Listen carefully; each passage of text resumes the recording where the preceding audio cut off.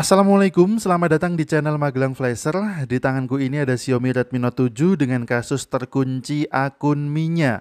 Kebetulan untuk casing belakangnya sudah aku bongkar karena memang lumayan lama untuk membongkar casing belakangnya. Jadi tidak aku sertakan dalam video. Silahkan teman-teman gunakan cara apa pun untuk membongkar casing belakangnya.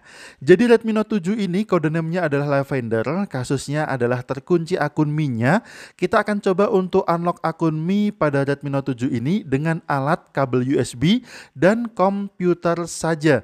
Tentu saja dengan tambahan satu alat lagi yaitu pinset karena untuk unlock akun Mi pada Redmi Note 7 Lavender ini kita membutuhkan masuk ke download mode atau ideal mode dan untuk masuk ke ideal mode kita membutuhkan test point menggunakan pinset. Untuk itu kenapa kita membongkar casing belakangnya. Kemudian untuk melakukan test point, sebelumnya handphone harus kita matikan dulu. Cara untuk mematikannya, langsung aja kita lepaskan soket baterainya, kemudian kita pasang lagi soket baterainya. Ketika handphone sudah mati, langsung pasang lagi soket baterainya dan kita lakukan test point. Hubungkan dua titik test point menggunakan pinset sambil menghubungkan dua titik test point. Kita tekan tombol powernya 1 sampai dengan tiga kali, maka otomatis handphone ini akan masuk ke ideal mode 9008. Selanjutnya kita bergabung dengan tampilan komputer kita. Di sini sudah kita siapkan tiga file. Yang pertama kita install tentu saja adalah driver. Ada Qualcomm Driver Installer. Langsung kita buka saja filenya dan kita jalankan installernya. Kita tunggu sampai installernya berjalan. Ini dia. Di sini kita pilih WWAN-DHCP, kemudian next, kemudian kita pilih next lagi. I accept next lagi install. Kita tunggu sampai driver Qualcomm-nya terinstall. Driver Qualcomm ini berfungsi agar handphone bisa terbaca sebagai ideal mode pada Windows yang kita gunakan. Setelah selesai, klik finish saja, winrarnya juga kita keluarkan. Kemudian kita install Mi Flash Tool dengan nama file Mi Flash Setup Inc. Kita double klik aja dan kita jalankan installernya. Kalau sudah muncul tampilan installernya, winrarnya bisa kita keluarkan. Klik next, pilih everyone, kemudian next, kemudian next lagi kita tunggu installing Xiaomi Flash-nya sampai dengan selesai. Kalau sudah selesai proses installing Xiaomi Flash-nya, bisa kita pilih close, maka langsung akan muncul shortcut Xiaomi Flash pada desktop PC kita. Langsung aja kita jalankan Xiaomi Flash Tool-nya dengan cara kita double klik aja shortcut Xiaomi Flash Exe sampai Mi Flash Tool-nya berjalan. Di sini kita masih menggunakan Mi Flash 2017.4.25.0. Selanjutnya file terakhir kita kita adalah file unlock Micloud Clean Lavender. Jadi Lavender ini adalah kode name untuk Redmi Note 7. Langsung kita ekstrak, klik kanan dan ekstrak di sini. Untuk passwordnya adalah Magelang Flasher huruf kecil semua M A G E L A N G F L A S H E R. Magelang Flasher huruf kecil semua. Sorry aku ulangi ya. Tampaknya kepencet ini keyboardku. Oke kita ulangi ketikkan passwordnya Magelang Flasher huruf kecil semua tanpa spasi. Kemudian klik OK dan kita tunggu sampai filenya terekstrak menjadi sebuah folder. Jadi file inilah yang akan kita flashingkan untuk mengunlock akun Mi pada Redmi Note 7. Langkah selanjutnya adalah menginputkan folder Mi Cloud Clean Lavender ke Mi Flash Tool-nya. Caranya cukup mudah. Tinggal kita pilih aja menu select pada Mi Flash Tool, kemudian kita arahkan di mana tadi kita mengekstrak folder Mi Cloud Clean Lavender. Kebetulan tadi aku taruh di desktop, kemudian di folder bahan, dan kita pilih folder dengan nama Micloud Clean Lavender. Yang kita pilih adalah folder Micloud Clean Lavender, bukan folder Emacs, tetapi folder Micloud Clean Lavender. Kemudian klik OK. Bisa kita perhatikan untuk folder Micloud Clean Lavender sudah terinput pada kolom firmware di Mi Flash Tool. Untuk opsi di bagian bawah Mi Flash Tool kita pilih yang Clean All saja.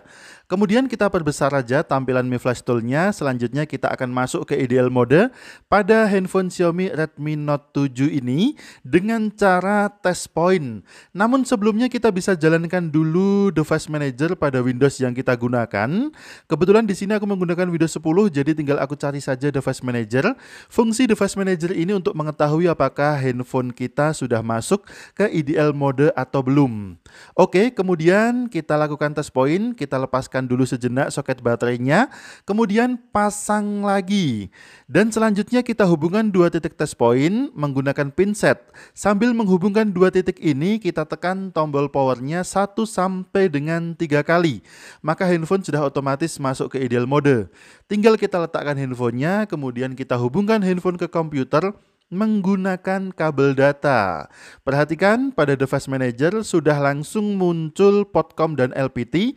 Di bawahnya terbaca sebagai Qualcomm HS USB Key Loader 9008. Untuk angka di belakang COM ini bisa berapapun yang muncul, tidak harus sama dengan video ini. Tinggal kita samakan dengan Mi Flash Tool untuk kompotnya. Kita bisa pilih menu refresh pada Mi Flash Tool-nya sampai pada kolom device muncul COM yang sama dengan yang muncul pada device manager. Kebetulan terbaca sebagai COM 3 dan ini sudah sama. Tinggal kita eksekusi untuk unlock akun Mi-nya dengan cara kita pilih menu flash, kemudian kita tunggu sampai proses flashing-nya berjalan. Dan ini tidak membutuhkan akun out untuk proses flashingnya cukup cepat. Mungkin hanya sekitar 5 detik saja statusnya sudah flash done dan resultnya juga sudah sukses. Kita akan lihat hasilnya, kita bisa kembali dulu ke tampilan handphone Redmi Note 7 ini bisa kita angkat dulu handphonenya, kemudian kita lepaskan kabel datanya. Kita bisa lepaskan juga soket baterainya agar handphone bisa keluar dari IDL mode 9008. Kemudian kita pasang lagi soket baterainya dan kita tekan tombol power sampai muncul logo Redmi di layar handphone ini. Tinggal kita tunggu aja sampai proses loadingnya selesai. Bisa kita letakkan dulu handphonenya. Dan untuk durasi loading, kita percepat saja agar tidak terlalu lama memakan waktu. Dan ternyata handphone ini sudah menggunakan MIUI 12.5 yang merupakan MIUI paling baru untuk Redmi Note 7 karena tidak mendapatkan updatean MIUI 13. Bisa kita perhatikan di sini sudah tidak ada tampilan terkunci akun Mi-nya, maka tinggal kita setup aja handphone ini sampai ke tampilan menu. Kebetulan juga untuk file ini selain mengunlock akun Mi, juga sudah langsung membypass akun Google-nya. Kita tidak perlu lagi untuk membypass ulang akun Google ataupun melakukan verifikasi akun Google-nya.